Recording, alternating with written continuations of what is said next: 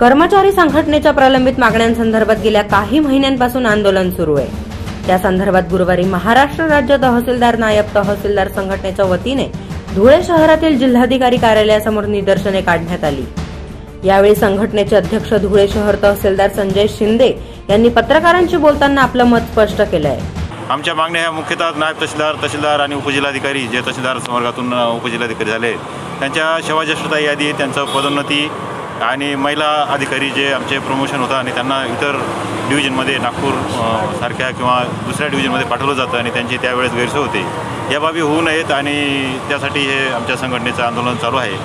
अव्वल कारकून आणि मंडळ अधिकारी संवर्गातील कर्मचाऱ्यांना तहसीलदार नायब तहसीलदार उपजिल्हाधिकारी यांना सेवा ज्येष्ठता यादीत राज्यस्तरावर एकत्रित करण्याबाबत शासनाने पत्र काढलेले आहे अन्यायकारक असल्याने सदर पत्र तात्काळ रद्द करावे पदोन्नती देण्यात यावी आणि अन्य न्यायिक मागण्या तातडीने सोडवण्यात याव्या अशा प्रमुख मागण्यांसंदर्भात गुरुवारी आंदोलन करण्यात आलंय.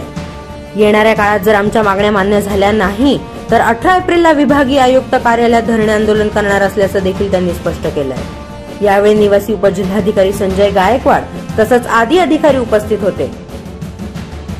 जागर जनस्थानसाठी नागिंद मोरे धुळे.